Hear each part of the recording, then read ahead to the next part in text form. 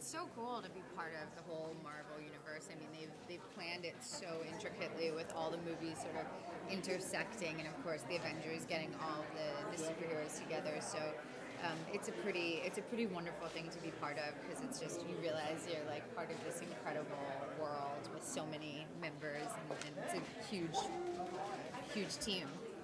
Yeah, Jane gets to go to Asgard this time, which is very lucky for me because I finally got to have scenes with Anthony Hopkins and Rene Russo and Tom Hiddleston and Jaimie Alexander, all of whom I just got to sort of admire from afar in the last film. So it was um, it was very lucky for me and lets us see a whole whole other realm in more detail this time.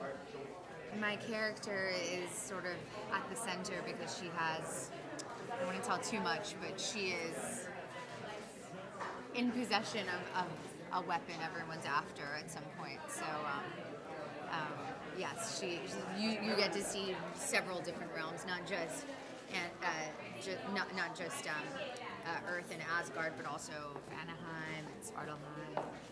Lots of exciting, exciting places.